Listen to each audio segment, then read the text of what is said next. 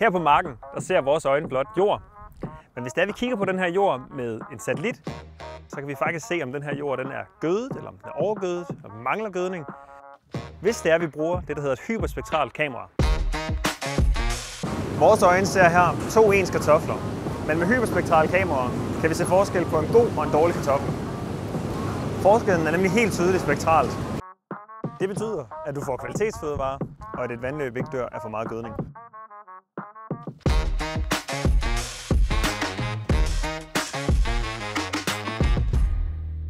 Vi skal altså kigge på hyperspektrale kameraer, men for at forstå det er vi lige nødt til at genopfriske det elektromagnetiske spektrum. Vi mennesker kan kun se den midterste del af spektrummet, også den del, som vi kalder det, det synlige del af spektrummet.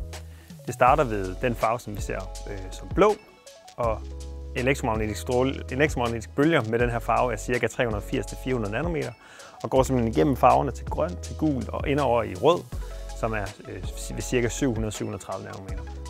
På den røde side fortsætter spektret ind i infrarød stråling, som man kender fra for eksempel natkikkerten Night Vision, ind i mikrobølger og så videre ud i radiobølger med rigtig lange bølgelængder. Hvorimod den blå side fortsætter fra spektret ind i ultraviolet stråling, ind til røntgenstråling og videre ind i gammastråling.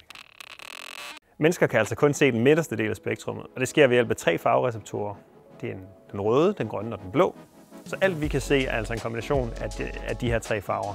Det er også den farveforståelse, som man bruger i almindelige RGB-kameraer. Når lys rører ind i videokameraet, bliver der optaget tre sort-hvid billeder, der hver især repræsenterer én farve. Så et rødt, et grønt og et blåt. Øh, og så når computeren bagefter samler de her tre farver, tre øh, sort-hvid billeder, får vi et farvebillede ud af det.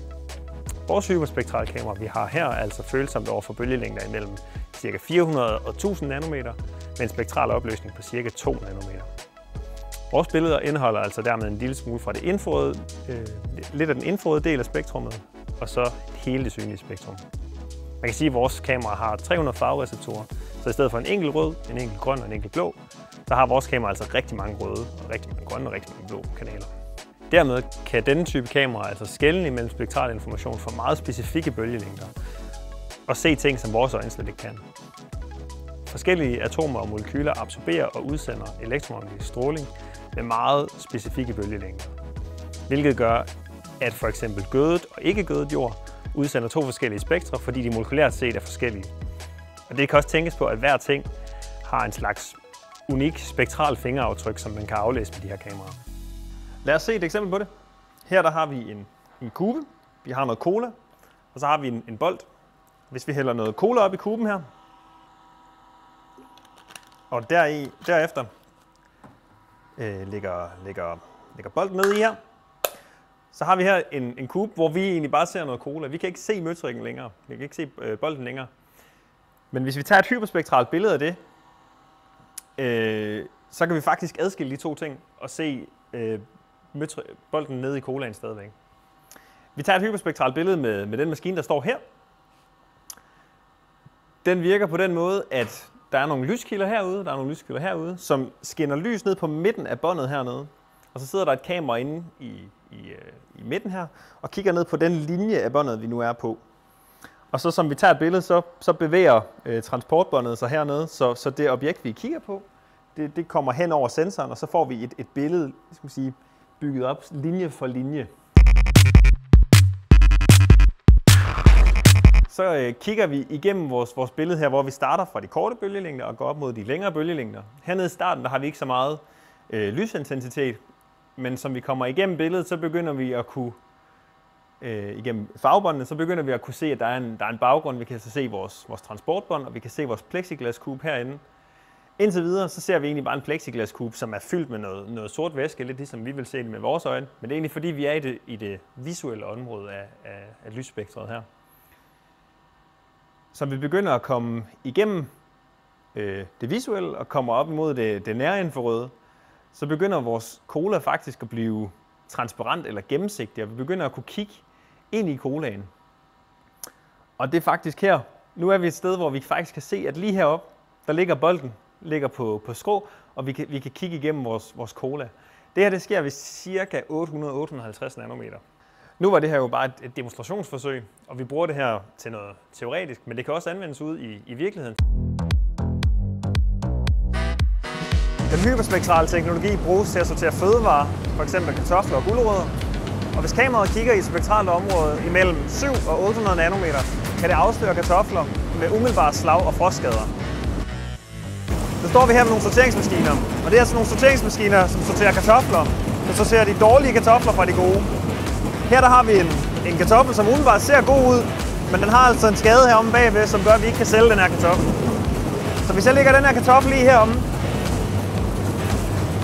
så vil den komme ud, så vil den blive frasorteret sammen med de andre dårlige kartofler.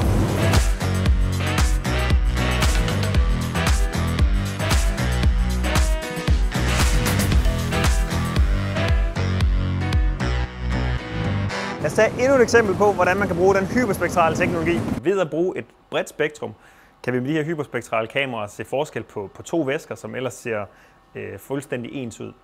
Øh, de to væsker, vi har her, det er en blå frugtfarve i den, i den ene, og det er en korsulfat væske i den anden. Den ene er, er, er harmløs, og den anden den kan være decideret giftig. Øh, for vores øjne, for vores kamera, der ser de her to væsker, de ser, de ser fuldstændig ens ud. Men hvis vi tager et, et hyperspektralt billede af dem,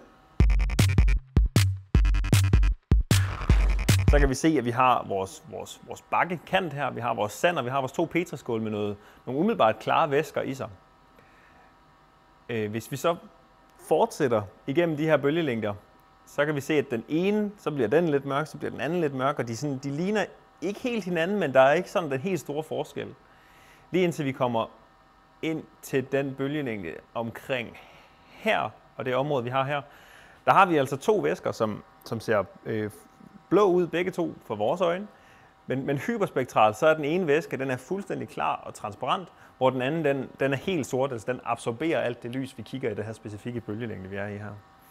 Den ene af de væsker her er, er, er fuldstændig harmløs, og den anden den er, øh, den er, den er giftig i, det, i de mængder, vi har blandet her. Ved at se på det med et hyperspektralt kamera, så kan vi faktisk se, se forskel på de to ting her. Og det er samme teknik, som de hyperspektrale kameraer op satellitterne bruger, og derfor kan vi altså se på mineralsammensætningen af den jord, vi står ved her. Så her der ser vi altså ikke bare jord, vi ser, vi ser gødning, vi ser ler, vi ser forskellige salte, og vi kan lede efter lige nøjagtigt det, vi vil, hvis det er, vi bruger de her hyperspektrale kameraer.